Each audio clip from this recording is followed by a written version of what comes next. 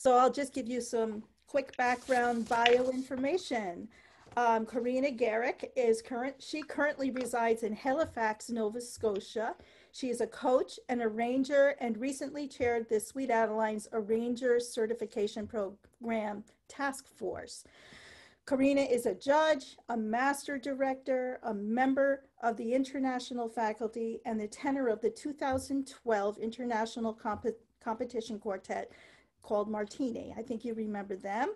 She also serves on the Sweet Adeline's Education Direction Committee and the Pitch Pipe Editorial Review Board. So Corinna is very busy.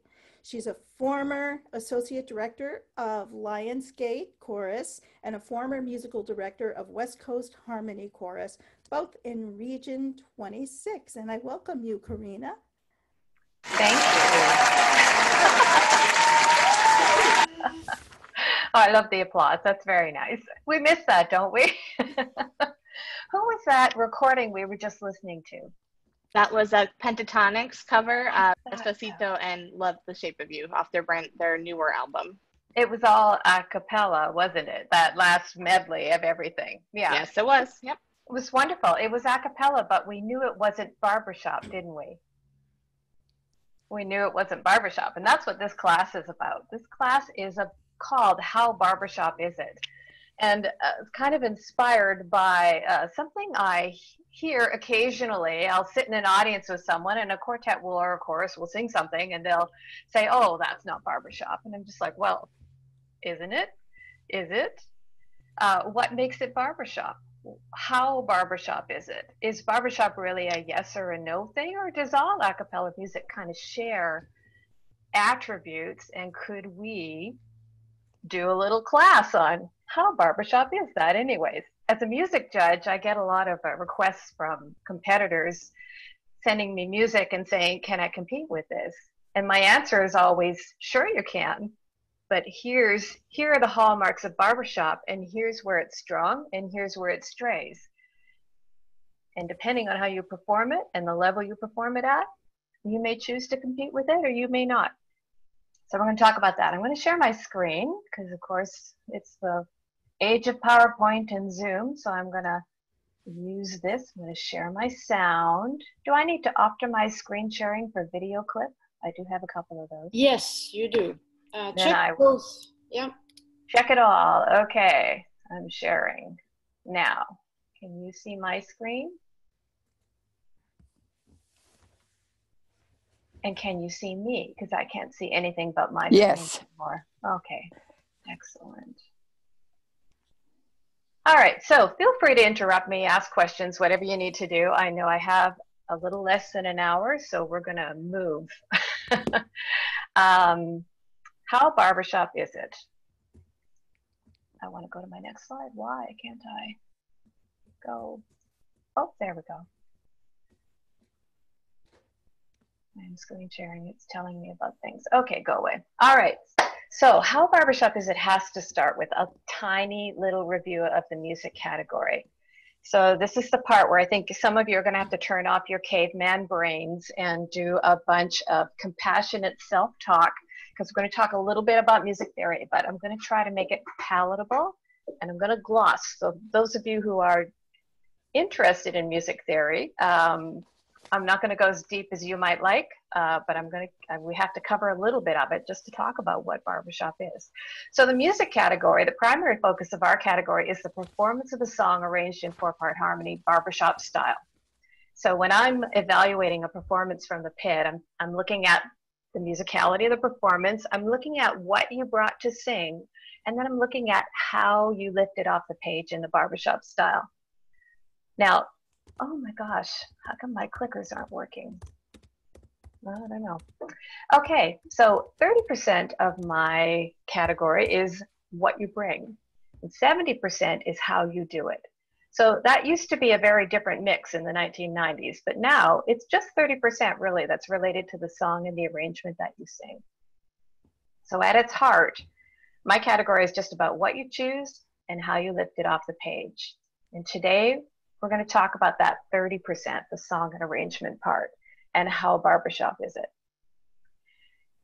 I want to also remind you that there is a JCDB online, the judging category description book. So if you're interested in the judging categories and learning more about this segment of the category, you can read about it. It's only 14 pages. It's amazing. Uh, and uh, feel free to look that up. Okay, so under song and arrangement, we've got things like merit as barbershop material, form, melody, lyrics, arrangement, harmonization, voicing. That's what we're going to talk about today. And then we're going to listen to a bunch of examples. So here's some examples of a cappella groups. How Barbershop is Main Street. They're the men's champions from a few years back, Tony DeRosa. How Barbershop is Pentatonix. We just heard that. We know it's not Barbershop when we hear it. How come we know? How Barbershop are the Cracker Jills. 1957 champs, Renee Craig's quartet. How Barbershop are the Mills Brothers. Their father was a barbershopper, actually owned a barbershop and sang in a barbershop quartet. And you hear that in their music when you listen back to it. You hear the chords. How Barbershop is Jimmy Fallon's Ragtime Gals. They do a parody of barbershoppers. If you've ever seen that, some of them are pretty funny. Justin Timberlake singing Sexy Back in barbershop style. I mean, so you can cram things into the barbershop style, but how barbershop is it? So, like I said, when I sit in an audience, sometimes Sometimes it's a little blurry, you know, the barbershop, and sometimes it's crystal clear that it's barbershop. Why is that? So that's what we're going to talk about. Okay, here we go. This is where you've got to do the positive self-talk and, and just listen and know that you can understand this. This is the mystery part of the music category for lots of people. So we do know a barbershop is unaccompanied, close harmony. So the chords we sing a lot of the time within an octave of each other and we like that. We like that. We like the way it feels and the way it sounds to us.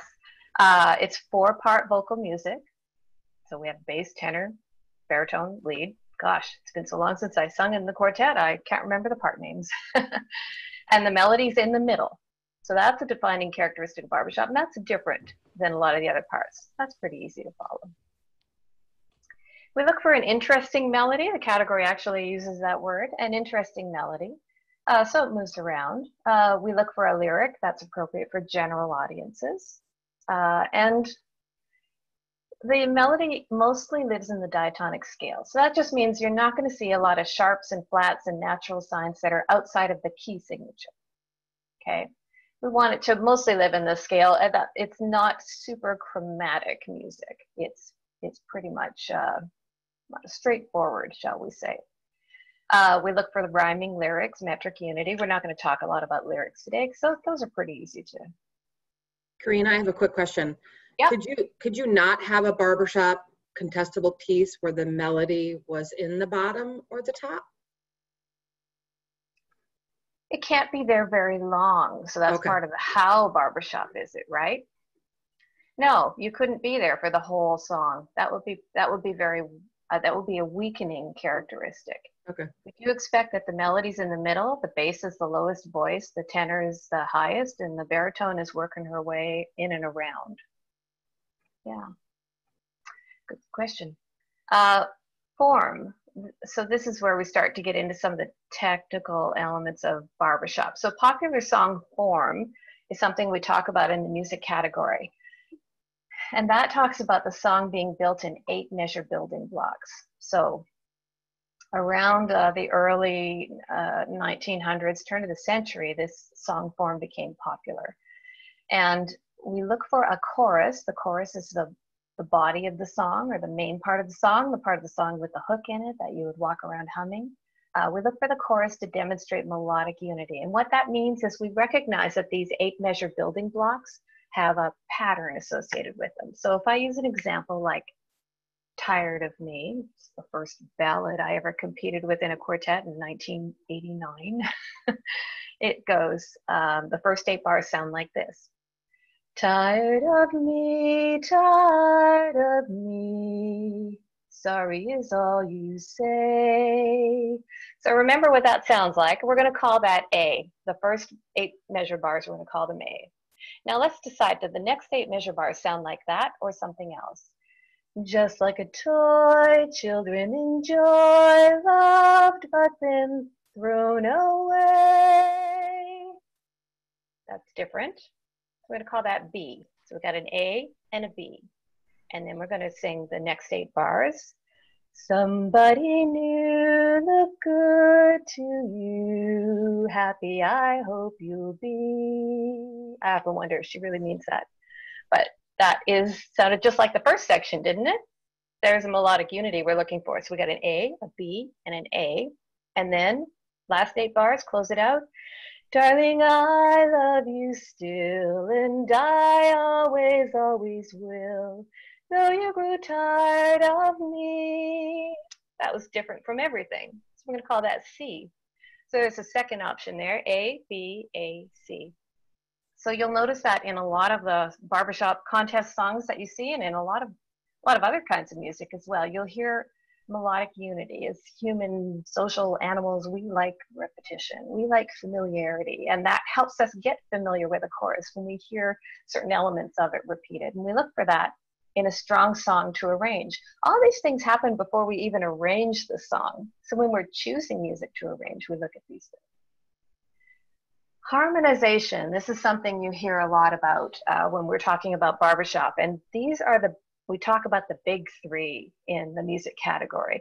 There's three chords that we particularly like. Our goal in arranging barbershop is to create overtones, right? We love overtones. We can hear them up this that fifth, sixth the voice that happens above or sometimes undertones, things that happen below the chord uh, that create that buzz and that ring that we get so excited about and makes the hair stand up on our arms.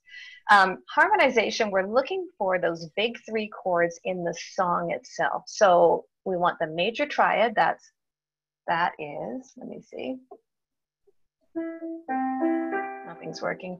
Do, mi, so, one, three, five. Shouldn't have picked C, but there, that's a major triad. We also look for, we know this one really well, Hello, hello, hello, hello. That's the barbershop seven, which is really a dominant seven, but it's a, uh, it's a chord that arranges really well in barbershop, and we like lots of those. So that's just the third with the seven on top. And then we can take that seven and we can add a nine. One, three, five, seven, nine.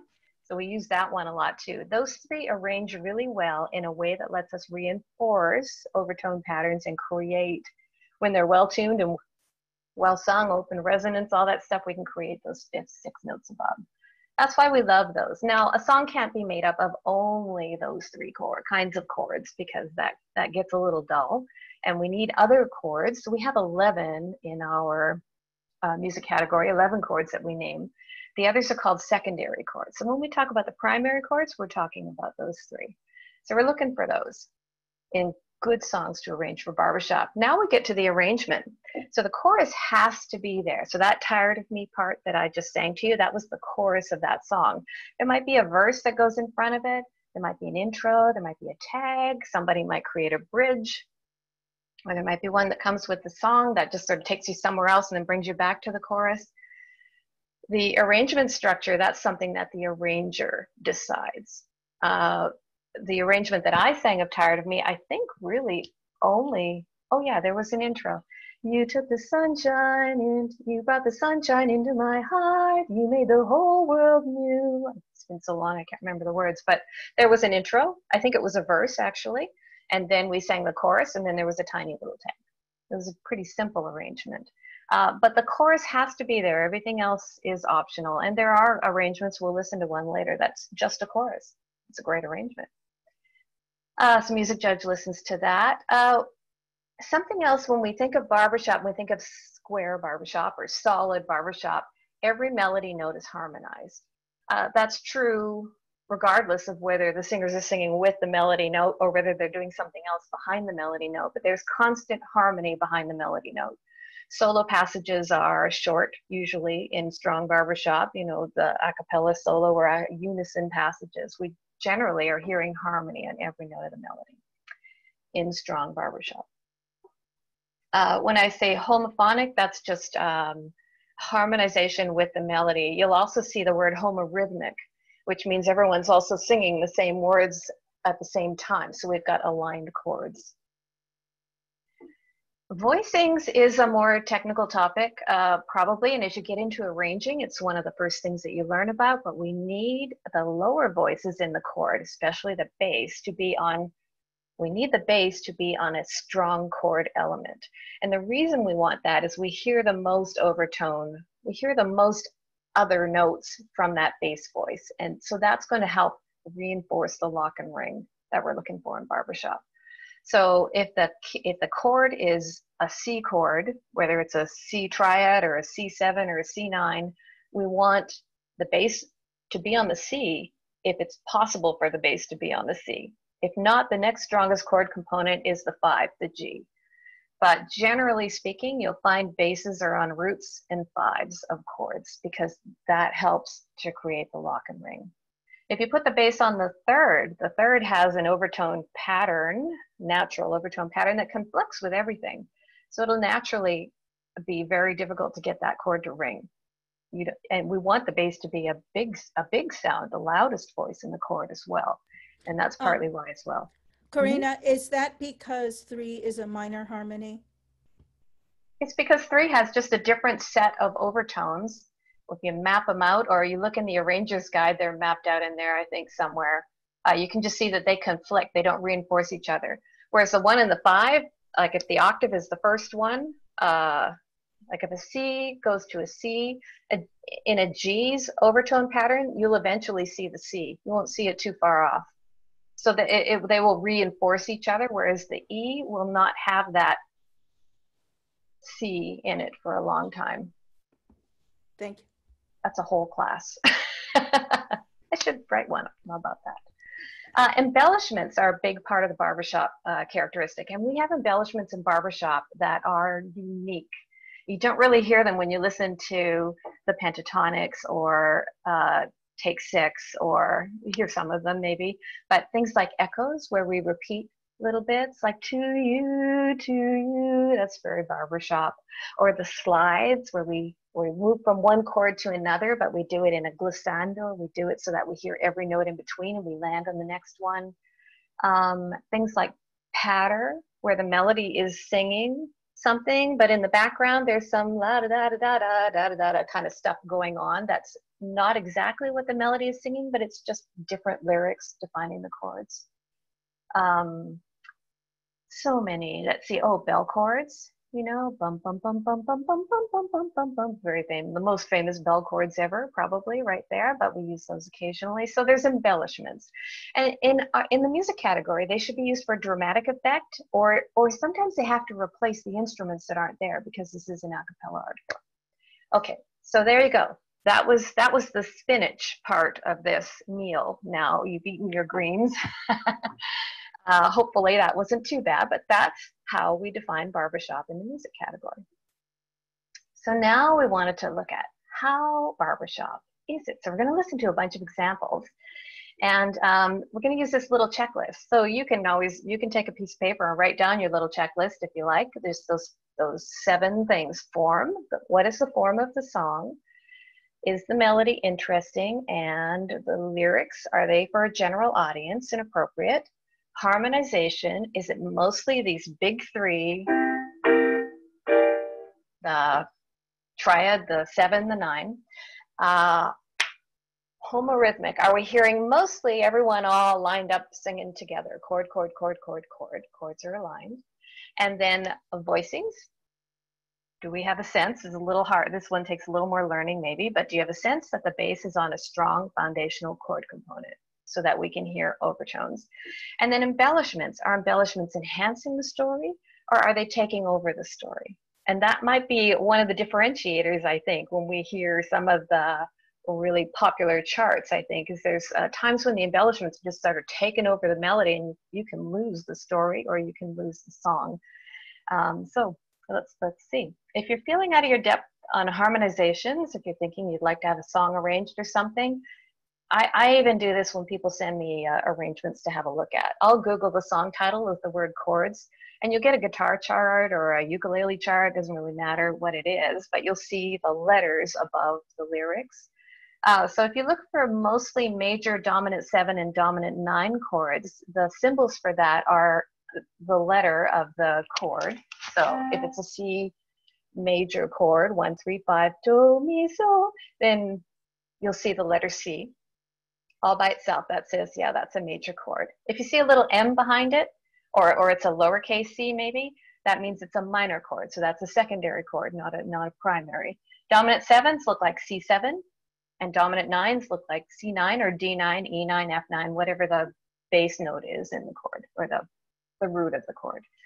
So that's uh, just sort of a little cheat sheet for looking at if you're interested to see whether the music that you're singing that is you're taking to contest? Is it is it primary has it primarily got those big three chords in it? You can google your song and see.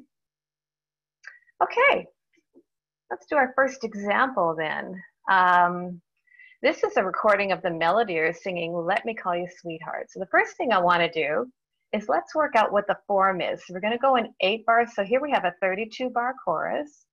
And there you can see that the chords are the harmonizations C, F, A7, D7, G7. They look pretty good, don't they? So, what's the form of this?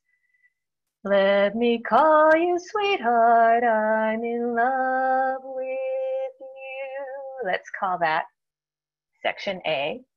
Now, is the next one the same or different? Let me hear you whisper that you love me too. Can't see you, but I'm guessing you're saying it's different. So that's a B section. Here we go. The next, the next one on line B there. Keep the love light glowing in your eyes so true. We're going to call that A again. Even though it's slightly different at the end, it starts the same. So as a listener, we get this sense of repetition. So they've got an A, a B, and an A. Let me call you sweetheart, love with you. We got a C. So here we have A, B, A, C. We like that. Melodic unity. Okay, is it an interesting melody? Yeah, it is. I like it. It moves around and it's got a nice peak at the, it's got a nice, the highest note is sort of reserved for the most important statement in the song, I'm in love with you, right at the end there. Uh, so pass. And it's, oh, and there's very few accidentals. There's a couple, that's okay, but it's not super chromatic. It's mostly in the scale it's written in. And this is in the key of C, you can tell because there's no um, accidentals in the key signature and the first chord of C is usually a good clue too. Uh, the lyrics are G rated and they're rhyming. Okay, harmonization. What I said about the chords, do you see mostly big three chords here? This is, this is a major triad because it's a C all by itself. That's a major triad. That's a seven. Okay. It's pretty much all. There's not a single minor chord or anything that's that's weak here. So that tells me it's probably a pretty good candidate for arrangement. All right. So those are all the things that are just in the song, which is why I gave you the melody to look at. Now we're going to listen to the arrangement and tell me, do you hear that people are singing the same chord at the same time, pretty much all the time, most of the time? Do you hear that the bass, if you if you are a bass or you are interested, have a look at these chords. If you can tell that the bass is moving from C, F, A, A, D, G, the names of these chords tend to be the bass notes. And in this arrangement, you will hear the bass moving. She'll move around, but she'll wind up on those notes. It's kind of interesting. So Corinna, there's one question that came up uh, from Sure. Laurel. Uh, Aaron Dale's arrangements seem to have a lot of patter areas. In We're going to do an. Aaron Dale arrangement. Yeah. Okay, good. we so are. Yeah. We're going to talk about it. Yeah. Okay, so she, uh, she says, yet they're strong arrangements. So does it come down to execution when judging, or should somebody expect a better score from execution of a simplistic square barbershop song, since there isn't difficult, uh, difficulty factor figured in? Great question. Let's talk about that when we get to Deed I Do, because I'm going to play you Deed I Do. Yeah, which is an Aaron Dale chart, and we love Martini. We sing a lot of his charts. We love them. But but we will talk about the embellishments because that's where. So in this one, listen to whether the embellishments are enhancing or taking over. This is Jim Martin's arrangement, by the way.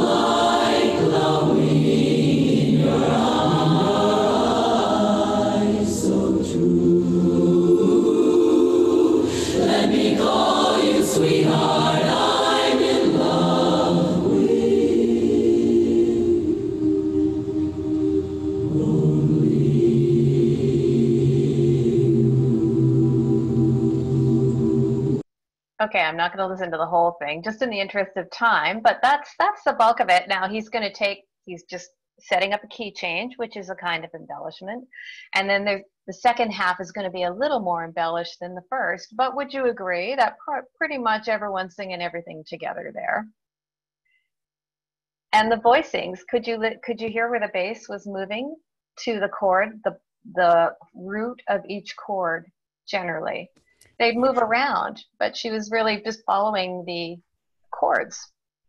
Yeah, there's one comment here. Very homorhythmic embellishments are used mostly to emphasize the important lyrics of the song. Exactly. Yeah. So the embellishments are supporting the melody. Yeah. And there's some there's a really great tearaway at the peak where he takes advantage of that, you know, that high F in the melody. And so it, it this is pretty I mean, you can't ask it's very barbershop. there's really nothing for me to write about as a music judge. I would just have to write, that's a, a great selection, you know, you're doing a great job of it. Okay. Uh, and he's written embellishments in it that let them showcase some of the things that they can do. And there were a couple places where the bass walked away from the melody and then, then they came back, right? So it makes a, li- a little interesting. Um, the next example is, uh, I love this one, ambiance. It's a sin to tell a lie. And this one is an example of an arrangement that just has the chorus. That arrangement we just listened to had a verse in front of it, then the chorus, then there's a tag that we didn't hear. This is very short. We'll listen to the whole thing. Uh, it- it's just a little barn burner. Um, if we look at the chords, or if we look at the form here, um, and the chorus is, uh,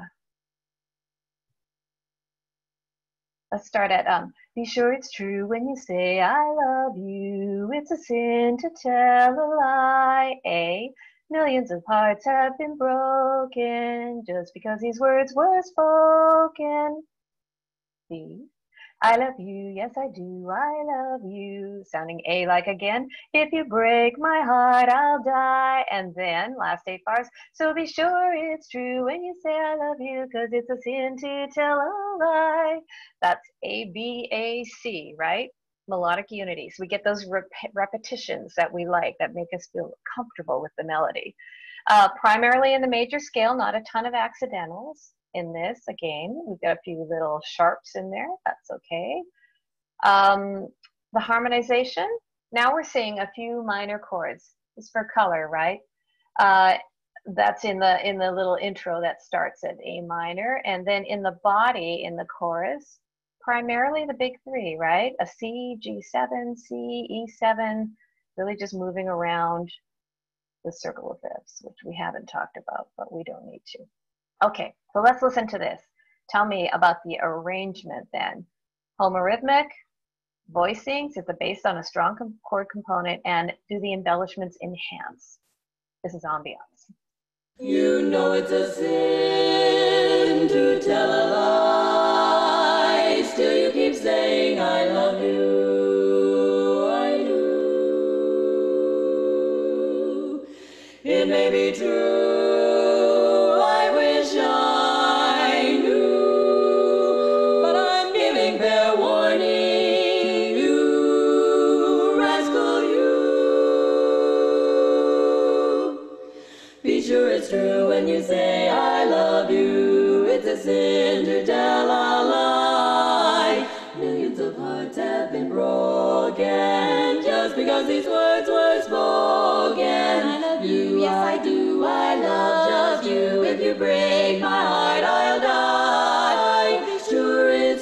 When you say I love you. It's a sin to tell a lie, tell a lie. Some say that I'm a fool to love you. They say your heart is lying. And I'm so afraid you'll go away, leaving my sad eyes crying. I love you, yes I do, I love you. If you break my heart, I'll just die. It sure is true when you say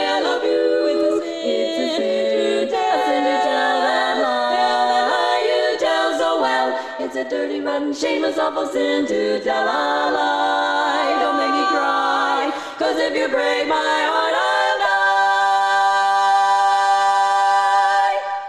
I love that ending. I love that ending. That's a G. That's a that's that's a major triad chord, and the bass is on such a strong component, and she's high and loud, and it's very exciting. Um, that actually has more than the chorus in it. I don't know what I was thinking. That's that had an intro, and then the chorus, and then a little bridge, a minor bridge, secondary chords, more in that area, and then the chorus again. But the chorus is super solid in terms of its uh, harmonization. Did you hear mostly homorhythmic? Mostly everyone singing the same thing at the same time. The places where embellishments take that away, where there's a little bit of uh, like the bass moved away again for a moment, she had to take the melody because it's a rangy melody. That's in the song. Um, those create interest. But I think the key is is not to stay in that for a long, long, long, long time. You know, so they were just they're just little interesting moments, and then we get back to the solid uh, barbershop. The voicings were strong again, um, and the embellishments I think were pretty uh, just moving the music along, use uh, connecting embellishments really just to enhance and support and move things along. Any comments on that one? That's still very strong. It sounds pretty like a difficult one to execute Yeah. well. It, it's ambiance. The year that they won, I think, is around that. It's from a Right. very. I It's wore really out my tough one. cassettes and bought the CDs. I wore out my cassettes. That's funny. Back in the cassette days. Yeah. Okay, so the next one is someone was asking about Aaron Dale arrangements. So we're going to listen to an Aaron Dale arrangement. Here is a very simple song called Deed I Do that you're probably familiar with if you've been in barbershop for any length of time. And if we look at the form, do I want you, oh my, do I, honey, deed I do, I do. That's A. We're going to sing it again. Do I need you, oh my, do I, honey, deed I do. So that is A again, right? Got AA. I'm glad that I'm the one who found you. That's why I'm always hanging round you. That's different. That's the B section of the chorus. And then we go back and sing, Do I love you? Oh my, do I? Honey, did I do? Uh, however it goes, uh, that is A again. So the form is, has melodic unity. We like that. And it's built in the eight bar chunks that we like as well for form. Um, melody is all in the major scale. and not an accidental insight. And if you look at those chords, what do you see? A C, a C9, an F, an F minor, a secondary chord for color, uh, a C, a D7, a G7. But generally speaking, pretty strong in the barbershop world of the big three chords. If you Googled this song chords, you would say, oh, that probably could be arranged. I see the eight bar chunks and I see the I see the chords that we're looking for. Now, this arrangement, there there is a, an older arrangement that is pretty homorhythmic and strong barbershop for contests. This arrangement we see in contests sometimes too. Uh, it's a lot more challenging. It's fun to sing, uh, but it's not very homorhythmic. And the question I always ask myself in this arrangement and this style of arranging is are the embellishments enhancing the melody or are they taking over the melody in some places? So let's listen to, to some of it at least. Um, I think we have time to listen to it. This is, uh, this is my quartet Martini singing uh, Aaron Dale's arrangement of Deed I Do, an amazing arranger. Baby, I've just been thinking of all the reasons I would fall in love. I don't know why, but here's what I can say.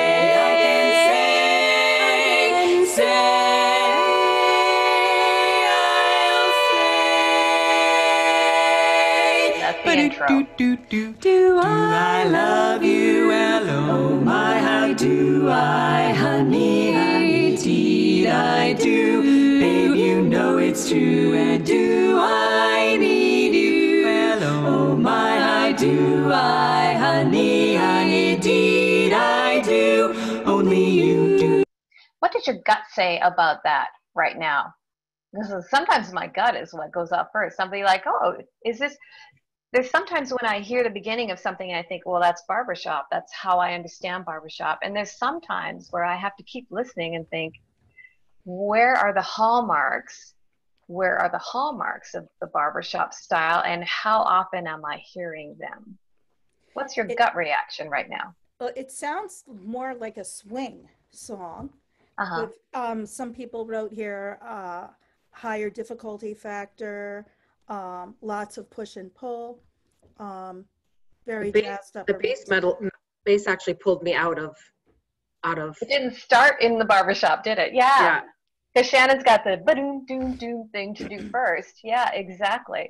And so it takes you a moment to come into, oh, this isn't starting as barbershop. It's starting as something else, a jazz piece, uh, which is probably more faithful to the original. Um, but uh, let's keep listening a little bit. And let's listen to the embellishments. I'm glad that I'm the one who found you, found you, baby. That's why I'm always hanging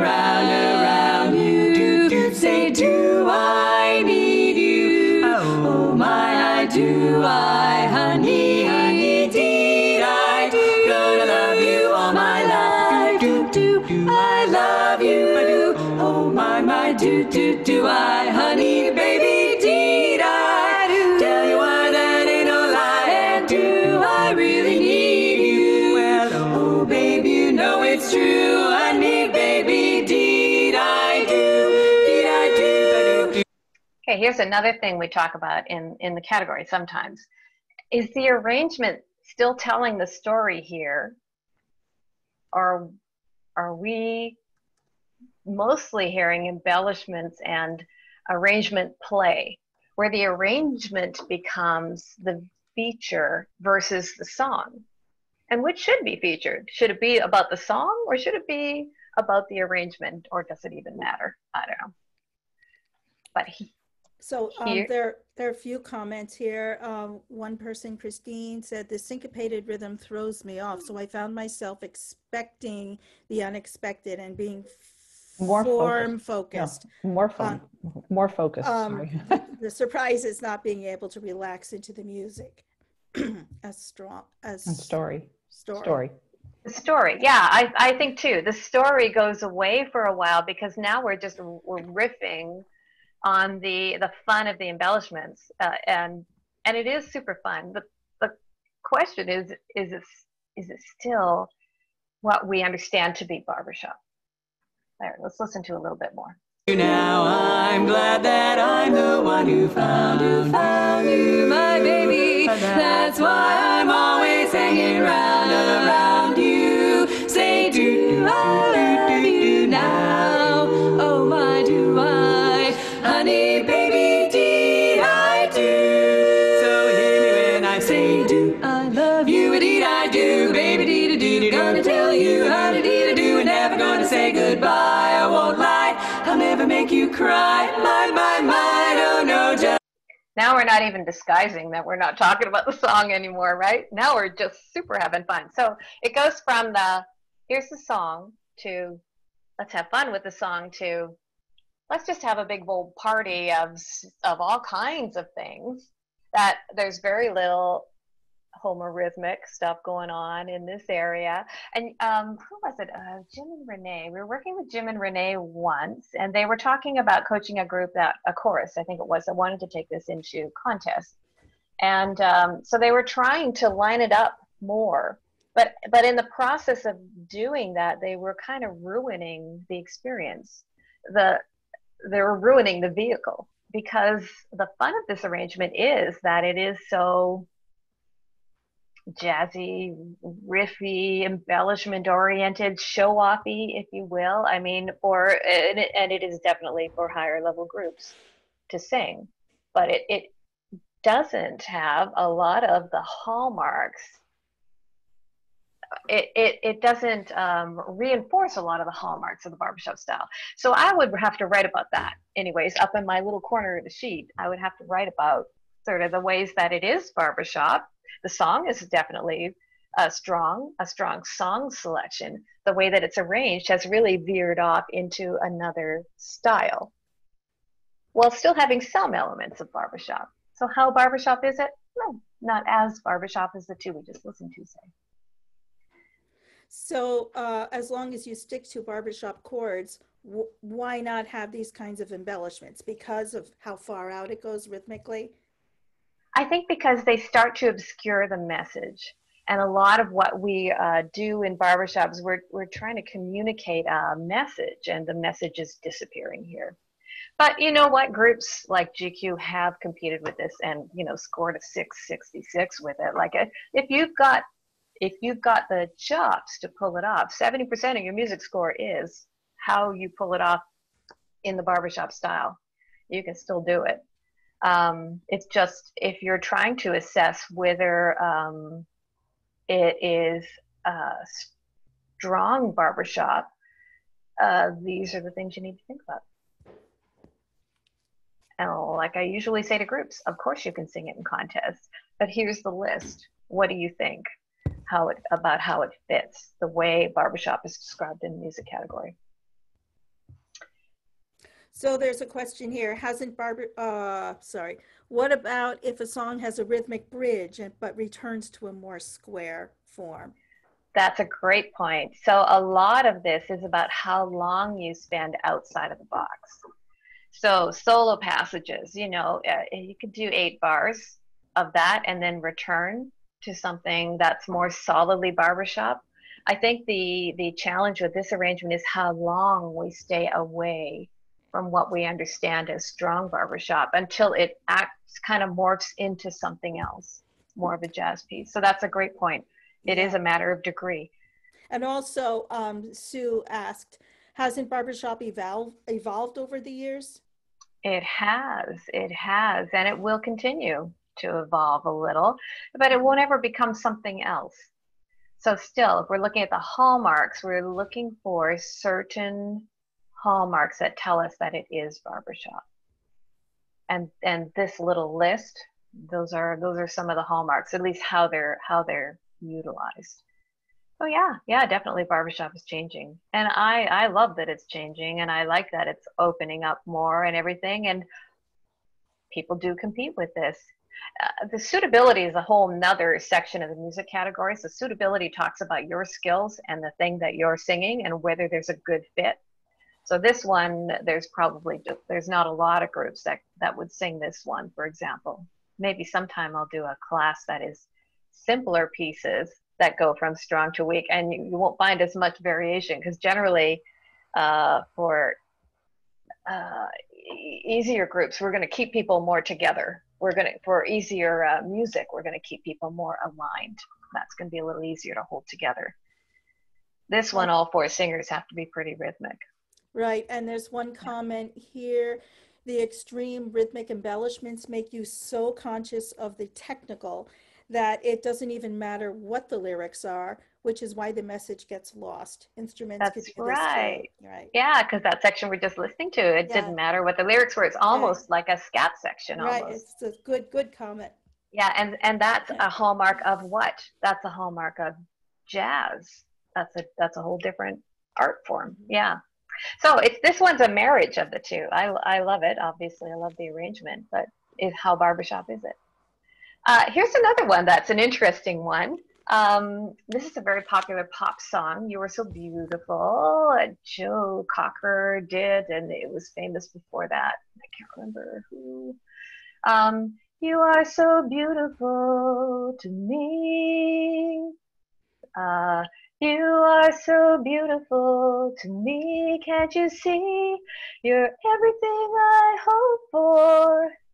You're everything I need. I know that's the version I know. So that's AAB. You are so beautiful to me. It's not in the eight bar chunks that we're looking for, but I could call this an AABA form with four bar chunks.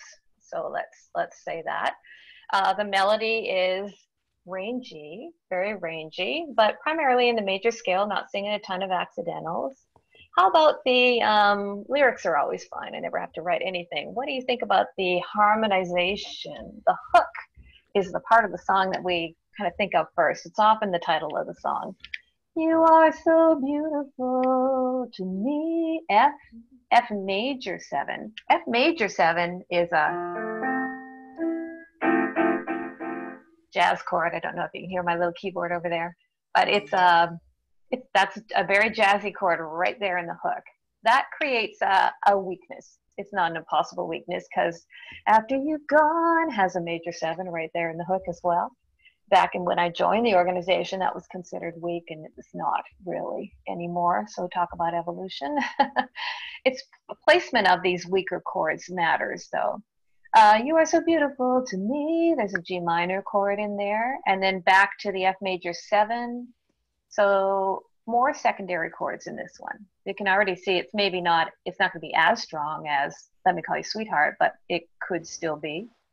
Um, we're going to watch uh, this performance. I hopefully be able to see it. Uh, and I want you to think about the other three things on the checklist. Uh, homorhythmic, like how how much is the song sort of lined up, uh, the voicings, uh, whether the bass is on a strong chord component, and the embellishments, and then sort of just make some other notes about what what strikes you uh, in this song in the barbershop art form. Uh, let me just get to the next. This is uh, Mille Blink. Got a couple of members of Salt in it. Wonderful group.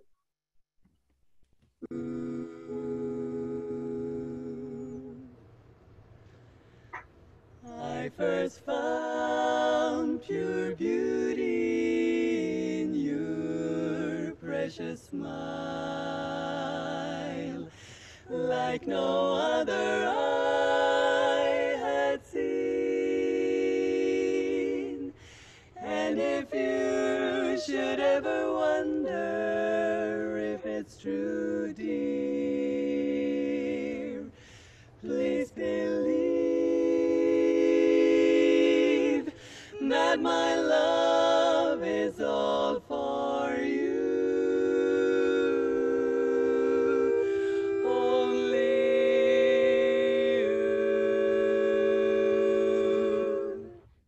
that's an original intro, and that's pretty barbershop. So they've tried to, they've, the arrangers tried to barbershop it up by putting a barbershop intro on it and then doing a modulation so they can get into the key they need to be in for the chorus.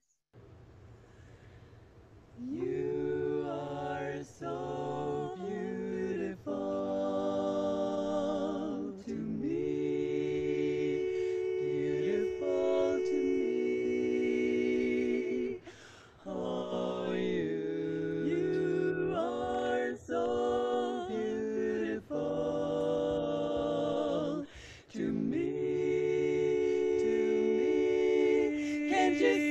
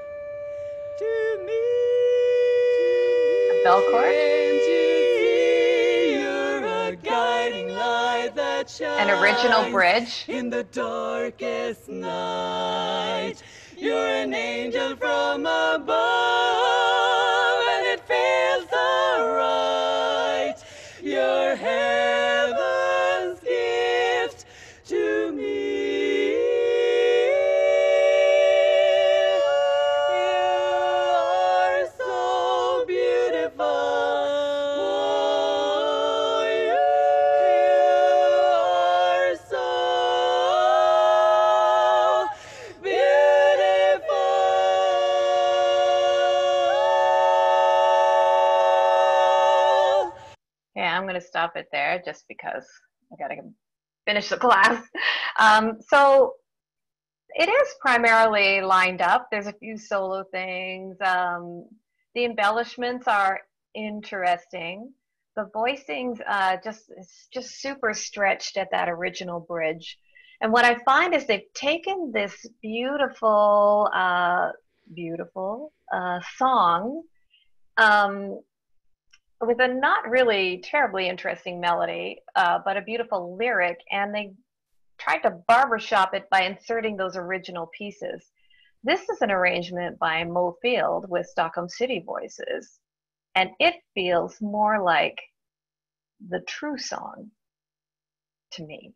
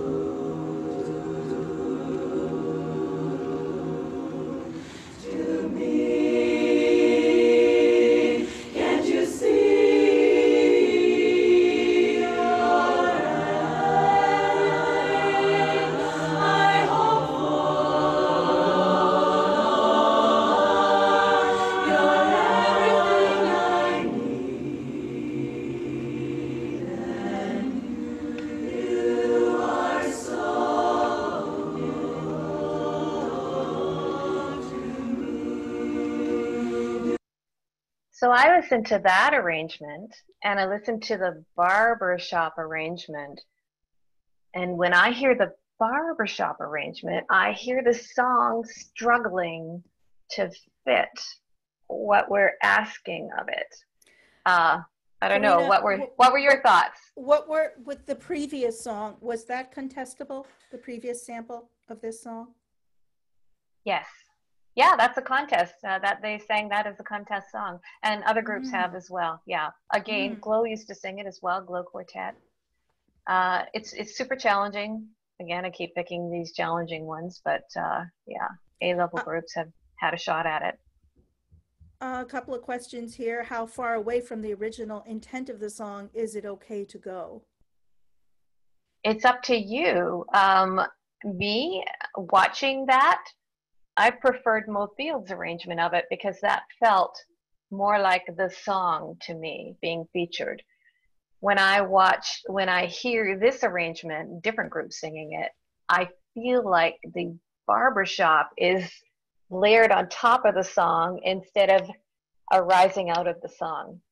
Does anyone else get a, a sense of that or have a Mhm. different thought? Corinna, did Mo use their version of this as their contestable piece or just an entertainment piece? That's an entertainment piece. Okay, Yeah. I was curious. Yeah, yeah, because that one's mostly oohing and the Right. different things coming in and out in the melody, and Mhm. yeah.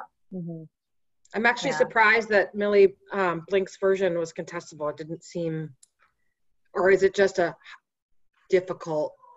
Well, then so that's why I call the class "How Barbershop Is It?" Right? Yeah.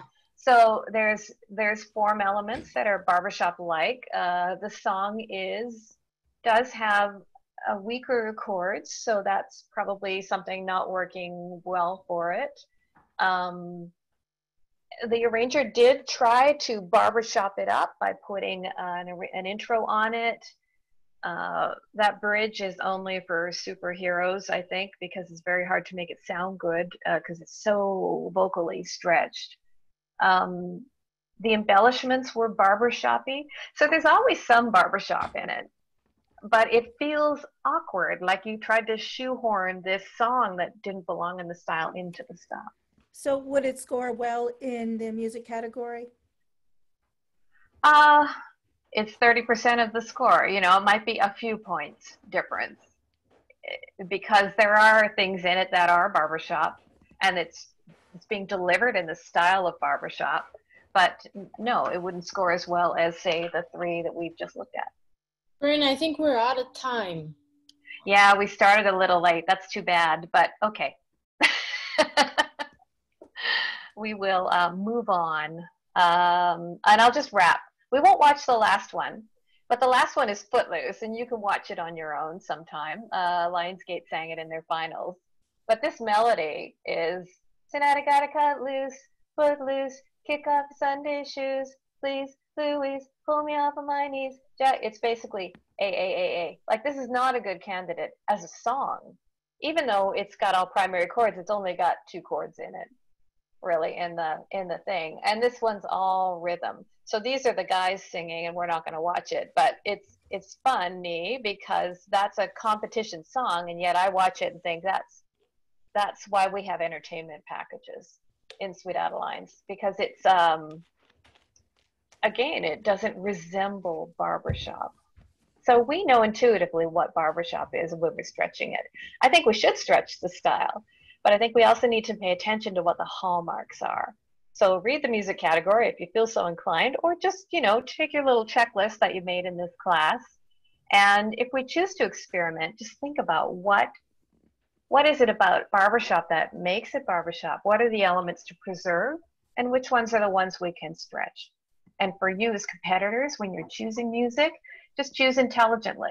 Understand what the hallmarks are. If you want to take a risk, I encourage you to do it. I love hearing new music out there. Just do it knowing that you're doing it. do it in an informed fashion. And that is how barbershop is done. Fantastic, Corinna. fabulous, fabulous job. And you know, everybody should look into that arranging program as well. I know I Oh, am. I uh, can learn Yes. a lot more through going through that class. Do do. Yeah. Thank Yeah. you so much. You're great. welcome. Thank you. Thanks for having me. I was nervous.